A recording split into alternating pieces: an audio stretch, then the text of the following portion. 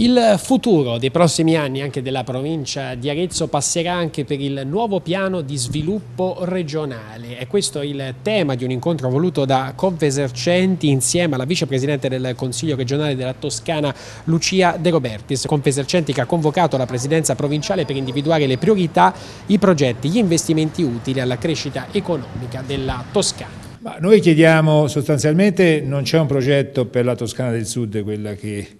eh, riguarda l'Aretino, mentre c'è un progetto per l'area fiorentina, mentre c'è un progetto per la costa, mentre c'è un progetto per l'area Toscana Nord e non abbiamo visto un progetto dei 26 progetti che compongono il piano regionale di sviluppo che riguardi l'area della Toscana del Sud e anche quest'area naturalmente ha bisogno di attività economiche che si sviluppino. Quindi eh, sono ricomprese negli altri progetti domanda che faremo alla consigliera. Oltre a questo il commercio in particolare ha necessità di investimenti, in particolare quello dei centri storici, il quale